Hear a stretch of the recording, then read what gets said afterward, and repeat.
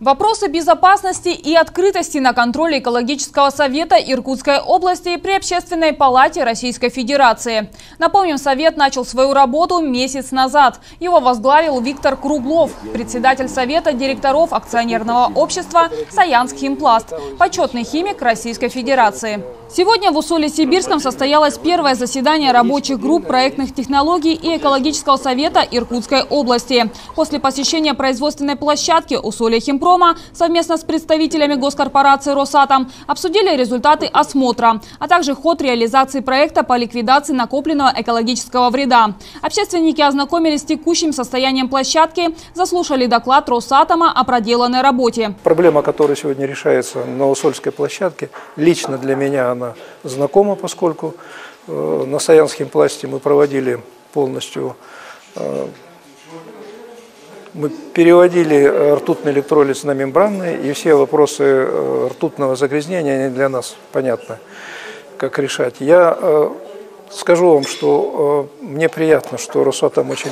быстро, за короткое время разобрался с проблемой. Это профессиональная команда, видно.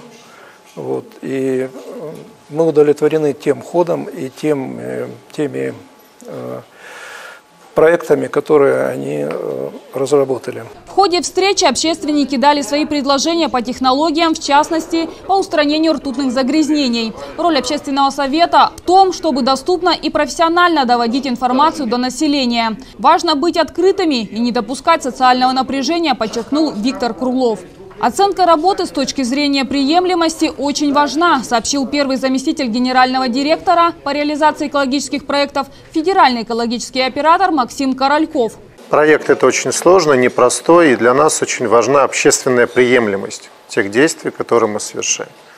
И вот такие вот мероприятия, как сегодня, когда мы можем всесторонне с точки зрения общественной приемлемости, с учетом того опыта, который есть у членов общественного совета – оценить ту работу, которая есть, для нас очень важно. Важно, чтобы население понимало, что все, что делается, делается для развития города. Это не просто экологический проект, это возможность освободить территорию от опасных веществ для того, чтобы на ней развивались новые предприятия.